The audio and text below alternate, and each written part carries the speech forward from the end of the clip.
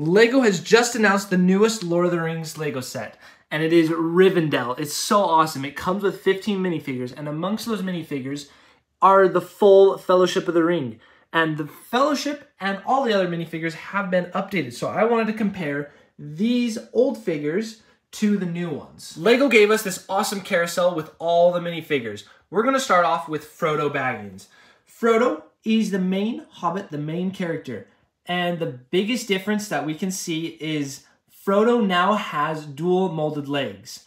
And if we take a look, I thought the hobbits definitely needed some dual molded legs. So I had bought in some of these Dobby legs before and they did not fit too well. And then I also had found someone that was selling these custom dual molded legs.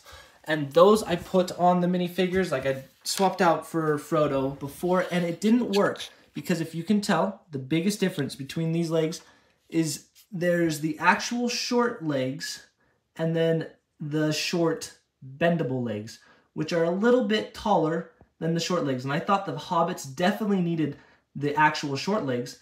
And then we can see this new Lego set actually has dual molded short legs for the hobbits. So that's gonna make these hobbits look a million times better. Next off is Bilbo. And we had a few renditions of Bilbo, but they were all younger versions of him. But now we finally have Bilbo as an old hobbit, which is very fitting because that's the way he was when he was at Rivendell in The Lord of the Rings. And then we have Boromir. One of the biggest differences is you can see a difference between his shield.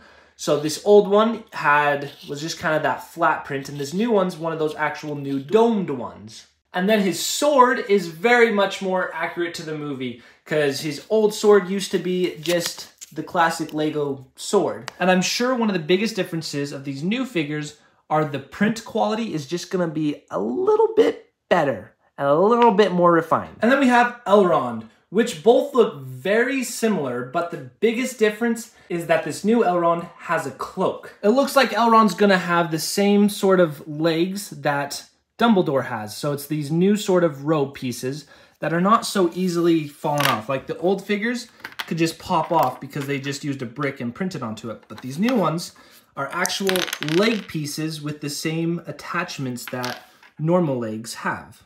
The old Elrond had this awesome dual colored cape, but it appears the new one will not have that. And then we have Arwen, who's getting a complete makeover. She's gonna have a white cloak, and then this hair piece is also new. It's a little bit more refined. And then I think it's just awesome because we'll have two alternate versions of Arwen. And Aragorn will also be in a completely new outfit. So this outfit will be awesome because it's the outfit he was in while he was actually inside and attending Rivendell Council. I also will note that this Aragorn did not come with the black cape, but I just added it to him to make him look more Ranger-esque. First off with Gimli, we can see his axes are going to be completely new. His old ones were just axe pieces like the classic old castle, but these new ones are actual new pieces, like completely 100% new. And then also Gimli's going to happen to have these legs that are made for bending for short people. So I think that's going to be perfect because that's the height I would have given Gimli. And then we have Merry and Pippin. And the crazy thing is on the LEGO site, it's gonna confuse so many people because it says Meriadoc and Peregrine. And Pippin is in the blue cloak and Merry is in the green cloak. So it's a little bit throwing you off. So it's actually, in the picture order, it's Pippin and then Merry, but it says Merry and Pippin, so crazy enough. But here is what they looked like in the old 2012 version. And then my biggest complaint about these minifigures were they both were quite sad looking in their minifigure form. So I'm super happy that the new figures have an element of happiness because Merry and Pippin were some of the most cheerful characters of the whole trilogy. And now for Gandalf, you can see that he also has these special new robes, which will be awesome. And the best part is he has printing on them, which adds such an element and makes him feel so much more complete than the Gandalf with the movable legs. And then next off, we have Sam, who is in a new outfit as well. So currently, we only have his traveling outfit, but now we'll have a good, relaxed Shire or Rivendell Samwise, which is great. And then lastly, we have Legolas,